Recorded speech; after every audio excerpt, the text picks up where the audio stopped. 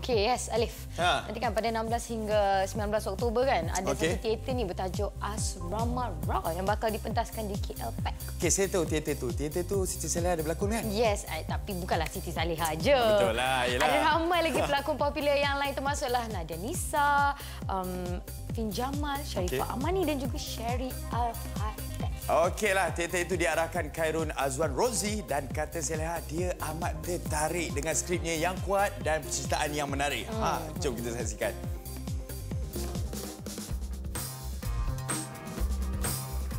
Sekarang Siti Saleha dah berlakon teater. Ni teater kedua kan? Okey.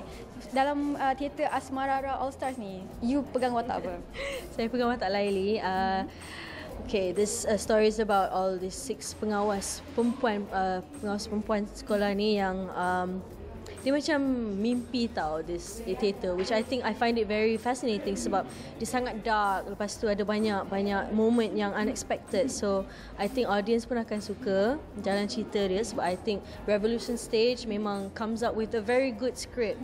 So it's one of the reasons why I took it. So kalau okay drama dengan theater mana yang lagi best? Mana lagi you suka uh, itu I tak boleh nak nak pilih lah sebab I think sebagai seorang pelakon kenalah versatile kan I think it's good it's a good profile juga kalau ada orang tanya oh dia buat drama dengan filem ke eh tak dia buat teater juga ah so it's good kalau dapat that versatility yang orang akan cakap okay Siti Saleha boleh buat semua That's what I want. That's what I'm aiming for.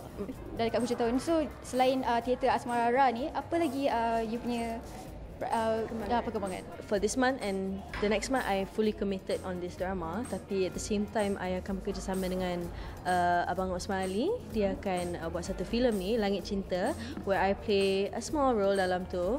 Uh, so yeah, it will be my first time dengan Abang Osman Ali. But at the same time, I akan fokus dengan ni. So I think it's a good gap. And uh, kena pandai jaga jadual lah.